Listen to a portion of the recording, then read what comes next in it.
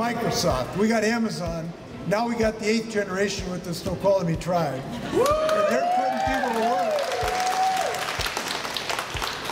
And I think this is something for the whole Washington to celebrate, as well as the Snoqualmie people, as well as the tribal community, for multiple reasons. One, this art is just so fantastic. I love it. I love Louis Ark. I just got a quick look at these incredible blankets. It's just nice to know we have true native art right here in the state of Washington.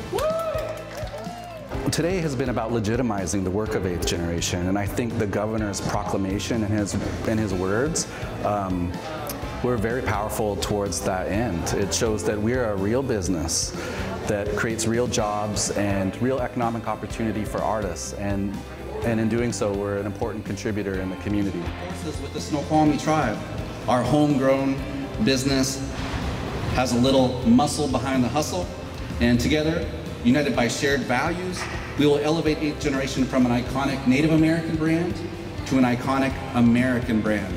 So this idea of merging forces and skill sets with the Snoqualmie tribe is super exciting because now I know that when I have a long-term vision gelling in my head about what 8th generation might be able to do in the future, I won't have to wait for two years to save up enough money to finally execute that vision. Thank you everyone for being here uh, to witness. It's pretty much we're going to keep it the same. It's just that he has more tools to go ahead and utilize to make it you know that much more uh, high profile.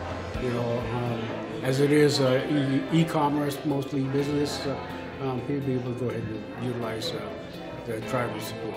If you're not supporting 8th Generation right now, what are you waiting for? Now 8th Generation is producing 100% native design products and we are owned by hundreds of local indigenous people. I think that we're heading down the right path.